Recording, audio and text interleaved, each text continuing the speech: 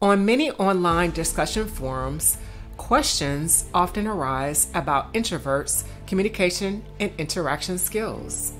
These questions often come from introverts requesting responses for how do introverts engage in small talk?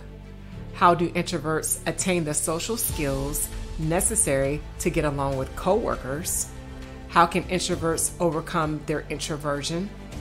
Such questions reflect concern by introverts, and closer scrutiny reveals a profound desire for introverts to reconcile themselves with extroverts.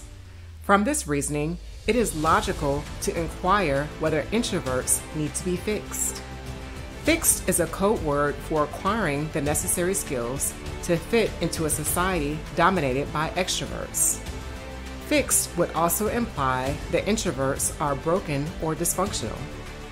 Ultimately, introverts don't need to be fixed, but should align their personality and perspectives with revising scripts written by extroverts.